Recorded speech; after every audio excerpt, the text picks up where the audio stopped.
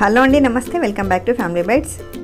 ఈరోజు వీడియోలో ఎగ్ రైస్ని సింపుల్గా ఎలా చేసుకోవాలో చూపించబోతున్నాను.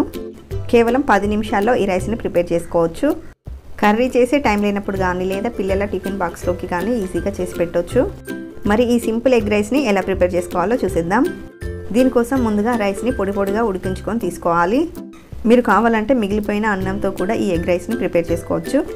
ఒక బౌల్లోకి నాలుగు ఎగ్స్ని పగలగొట్టి తీసుకోండి. ఇందులోకి పావు టీ స్పూన్ దాకా ఉప్పుని పావు టీ స్పూన్ మిరియాల పొడిని వేసుకొని అంతా కలిసే విధంగా బాగా బీట్ చేసుకోండి. ఇప్పుడు ఒక ప్యాన్లోకి అర టేబుల్ స్పూన్ దాకా ఆయిల్ని వేసుకోండి. ఇందులోకి మనం బీట్ చేసుకున్న ఎగ్ మిక్చర్ని వేసుకోండి. ఎగ్ కొంచెం ఫ్రై అయ్యాక కొంచెం పెద్ద పెద్ద ముక్కలుగా కట్ చేసుకోండి. ఇలా కొంచెం పెద్ద ముక్కలుగా ఉంటేనే మనకి రైస్లో బాగుంటుంది.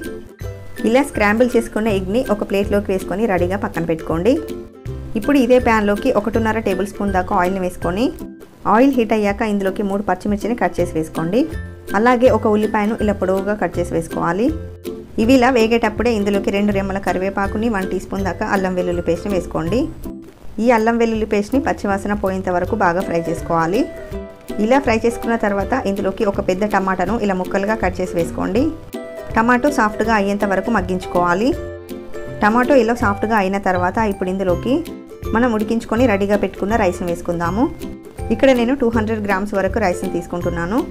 ఇందులోనే రుచికి సరిపడా ఉప్పుని స్పైసీనెస్కి తగ్గట్టుగా కారాన్ని వేసుకోండి. పావు టీ స్పూన్ దాకా జీలకర్ర పొడి వన్ టీ స్పూన్ దాకా ధనియాల పొడిని వేసుకోవాలి. అలాగే అర టీ స్పూన్ దాకా గరం మసాలాని అర టీ స్పూన్ దాకా పసుపును కూడా వేసుకొని ఇవన్నీ కూడా రైస్కి బాగా పట్టే విధంగా మిక్స్ చేసుకోండి.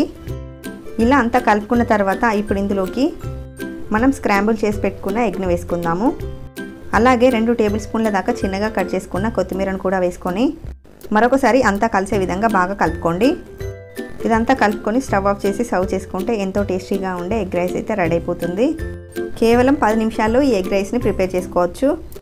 టేస్ట్ కూడా చాలా చాలా బాగుంటుంది.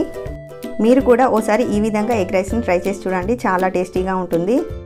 ఈ సింపుల్ అయిన టేస్టీ రెసిపీ మీకు నచ్చితే వీడియోని లైక్ చేయండి షేర్ చేయండి. మరిన్ని టేస్టీ రెసిపీస్ కోసం ఛానల్ని సబ్స్క్రైబ్ చేసుకోండి. Thank you for watching.